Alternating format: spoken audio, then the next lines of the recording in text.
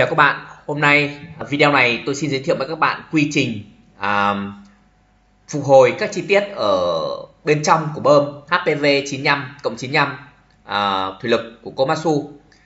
À, như các bạn đã biết, ở video lần trước chúng ta à, đề cập đến việc phân loại, đánh giá các chi tiết à, qua à, kiểm tra bằng mắt và đo đạc. Sau khi phân loại xong chúng ta được ba à, loại A, B, C A là loại tốt B là loại chúng ta cần phải phục hồi và loại C là chúng ta à, vứt bỏ. Thì ở video này à, tôi làm mục đích để phục vụ cho các bạn ở à, các chi tiết ở phân loại B đó là chúng ta phục hồi. Thì trong quá trình phục hồi chúng ta có à, tiếng Anh nó gọi là à, lapping. Lapping à, hiểu ý nghĩa đó là gì? Mài mòn và đánh bóng để chúng ta sử dụng lại cái chi tiết đó. Như vậy à, đối với cái à, công việc à, phục hồi chi tiết này à, chúng ta gồm một công việc gì thì mời các bạn chúng ta cùng xem. Thứ nhất là đối với việc lapping à, các thiết bị để sử dụng cho lapping à, chúng ta có à, các loại sau. Thứ nhất là loại máy AC 1002 à, F loại này chúng ta có thể lapping pin được những uh, chi tiết có độ mịn cao. Uh, tương đương với uh, giấy uh, giáp có độ mịn là 1002 uh, loại máy loại máy này là loại máy bán tự động uh, để sử dụng lapping pin uh, các chi tiết có hình uh, thù đơn giản. À, và từ công đoạn đầu đến công đoạn cuối các bạn chỉ cần điều uh, chỉnh uh, màn hình CNC thì nó sẽ ra được kết quả. À, loại máy này à, sử dụng cho việc à, lapping những à, thích hợp cho các vòng bi à, những cái trục bạc à, những cổ bạc.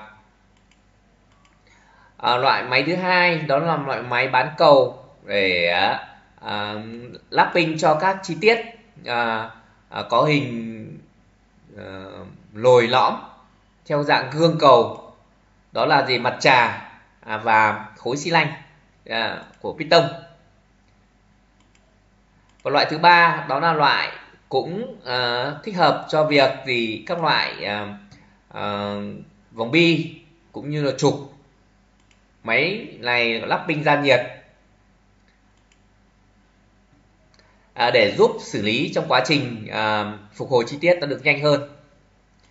Như vậy à, đối với cái uh, chúng ta thì uh, tôi xin giới thiệu ba uh, loại máy như trên.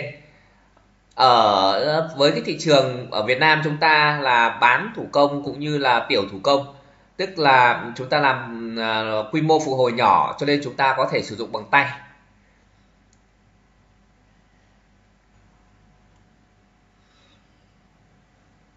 Phần tiếp theo tôi xin giới thiệu với các bạn quy trình lắp pin như nào hay là quy trình mài và phục hồi đánh bóng như thế nào? Bước đầu tiên chúng ta à, lapping với các à, hợp chất. Tức là chúng ta mài mòn à, các chi tiết của ta bằng các hợp chất. Sau đó chúng ta đi rửa. Tiếp tục chúng ta à, lau chùi à, sạch các à, hợp chất này và chúng ta à, bôi tiếp. Hay nói cách khác chúng ta mài mòn đánh bóng tiếp với chất ờ, chomumin oxit. Sau đó chúng ta cũng đi rửa. Và cuối cùng là chúng ta sang cái bước quan trọng nhất đó là đánh giá à, để đánh giá các bề mặt tiếp xúc bằng phương bằng cái à, chất gọi là blue. À, Puisian blue. Sau khi chúng ta đánh đánh giá xong rồi thì chúng ta quay sang gì? Lắp ráp. À, các chi tiết đó. À, lên bơm. Sau khi lắp ráp à, bơm xong rồi thì chúng ta mang bơm đi à, kiểm tra. Như vậy đối với quy trình à, của đại tu bơm chúng ta có hai à, lần kiểm tra. Lần thứ nhất đó là kiểm tra các chi tiết lần thứ hai sau khi các chi tiết phục hồi xong rồi à, chúng ta à, lắp thành bơm rồi chúng ta lại đi kiểm tra các đặc tính của bơm nữa. Như vậy ở đây công đoạn à, test ben này đó là gì? Chúng ta mang cái bơm lắp ráp xong rồi chúng ta ra máy à, ben để chúng ta test các thông số của bơm. Ý nghĩa là như vậy. Trong trường hợp nếu các bạn mà test mà à, không đặt yêu cầu thì chúng ta quay sang cái bước đó là gì? Tháo lắp ra và cuối cùng là chúng ta gì? Điều chỉnh đánh giá lại. Trong trường hợp mà nó vẫn nó vẫn hỏng không được thì các bạn quay sang đó là công đoạn đầu tiên. Mài mòn bằng các hợp chất mài mòn đó là lapping hỗn hợp chất mài mòn sau đó các bạn lại rửa sau đó là các bạn loại cái chất đấy ra và à, đánh bóng. Hoặc và mài mòn bằng chất gì? Chromium oxit và lại điều chỉnh cứ như vậy đến khi đặt yêu cầu thì thôi. Ở đây tôi xin uh, uh, chú thích với các bạn đó là các chất uh, để chúng ta uh, thực hiện công đoạn đầu tiên đó là lapping compound. Lapping compound nó gồm những các chất uh, những các hạt có uh, tương đương với cả uh, 400, 600, 1000 và các hạt này uh, được uh, trộn lẫn với cả dầu à, bôi trơn hoặc dầu thủy lực cũng được. À, và các bạn lên là không để cho à, bụi bẩn nó chui vào. Cái loại chất thứ hai đó là loại chất gì? Cho minum oxit. À, loại chất này để thực hiện cái công đoạn là sau khi chúng ta thực hiện uh, sử dụng cái chất gọi lapping compound rồi thì chúng ta sử dụng cái chất là chromium oxit để chúng ta có nhiệm vụ là đánh bóng nó đi đó. À, và cách làm của chromium này cũng tương đương như tương tự như cách làm của ờ, uh, lapping compound. À, đều như nhau. Sau khi đặt yêu cầu rồi thì chúng ta cái sử dụng cái chất đó là chất gì? Busan Blue. À, tên nó là như vậy. À, tôi không biết là công thức của nó như nào nhưng tóm lại chúng là tôi sử dụng cái công um, chất này để chúng ta làm sao? Đánh giá lại à, các chi tiết. À, xem nó có đạt yêu cầu hay không đó, đó là toàn bộ quy trình à, mai và đánh bóng. Các chi tiết. Tiếp theo tôi xin giới thiệu với các bạn à, các công việc lapping à, của từng chi tiết à, của bơm. Cũng như là nguyên vật liệu chúng ta cần lapping các bước thực hiện. Thứ nhất là nguyên vật liệu để các bạn à, lapping nó gồm có lapping power. Lapping power được sử dụng các loại 400, 600 và 1000 thậm chí gì lớn hơn cho một số các chi tiết của bơm. Đối với bơm thì tôi chỉ khuyên các bạn dùng loại 400, 600 và 1000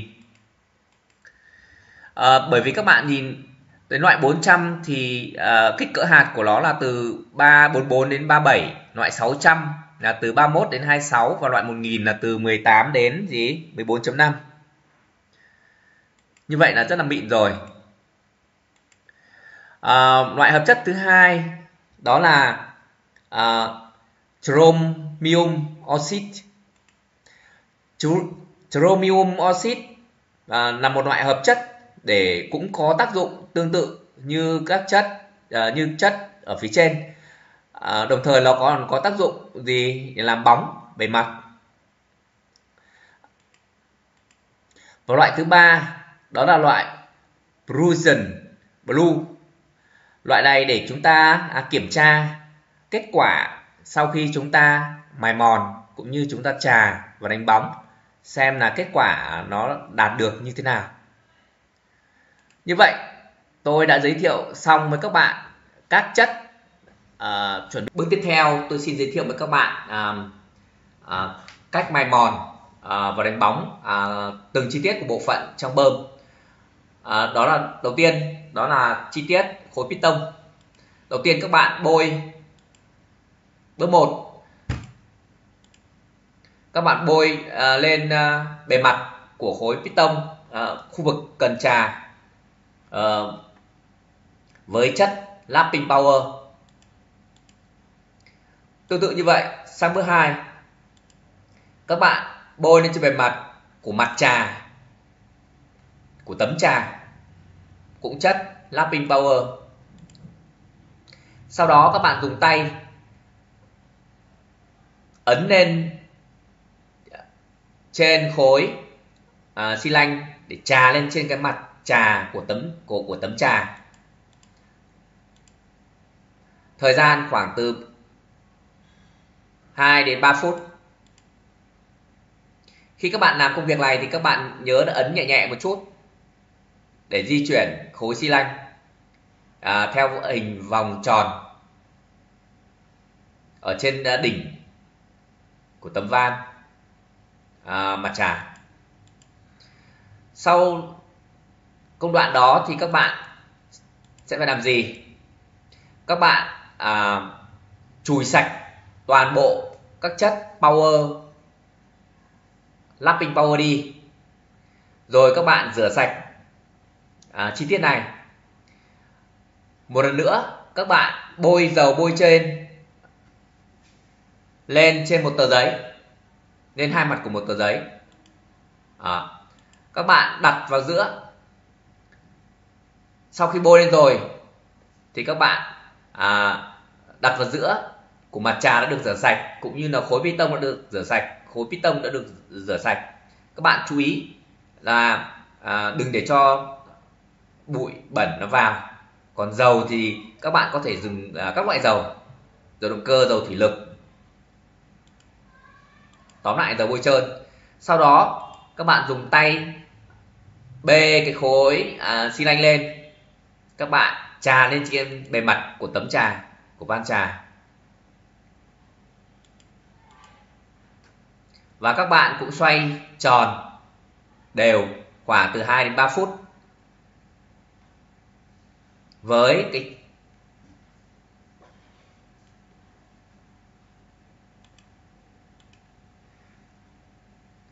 tiếp theo, đó là bước 6 các bạn rửa sạch đi. Rửa sạch lại một lần nữa đi. Hai bề mặt của của uh, của chi tiết đi. Các bạn lại bôi dầu lên trên bề mặt của tờ giấy đó. Hai mặt của tờ giấy. Sau đó các bạn lúc này các bạn mới phủ lên trên bề uh, tấm uh, giấy có dầu vừa bôi đó. Chất đó là chromium oxide có màu xanh. Các bạn bôi lên.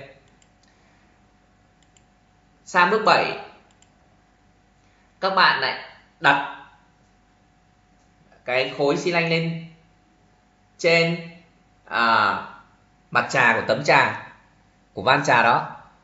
Ở giữa là tấm giấy đã được bôi à, chất à, chrome dioxide đó. Các bạn lại trà. Và như vậy các bạn rất thực hiện quay lại, trà lại cái này xong rồi, các bạn lại rửa sạch. Xong các bạn lại bôi chất lapping power lên. Và các bạn lại thực hiện công việc tuần tự. Đến công đoạn các bạn gì? Bôi chất gì? Chromium oxit đến khi nào các bạn thấy là nó bằng phẳng thì thôi. Đây là hai chi tiết mà chúng ta vừa mới thực hiện công đoạn trả. sau khi các bạn thực hiện xong thì các bạn rửa sạch đi. Như vậy tôi đã trình bày xong với các bạn chi tiết thứ nhất bằng phương pháp lapping. Như vậy tôi đã trình bày uh, xong với các bạn uh, phần uh, lapping uh, các bước lapping của uh, khối xi lanh. À, của uh, bơm HPV 95 cảm ơn các bạn đã quan tâm theo dõi à, video này. À, mời các bạn đón xem phần 2 à, video về lapping các chi tiết còn lại của bơm. À, mặt ừ, à, gối trao cũng như là gối đỡ của gối trao cũng như là mặt trà và các tiêu chuẩn đánh giá à, như thế nào là, là lapping ok và như thế nào là không ok mọi thắc mắc à, các bạn có thể gửi về địa chỉ à, lợi chấm gmail com và các bạn có thể viết comment ở phía dưới. À, một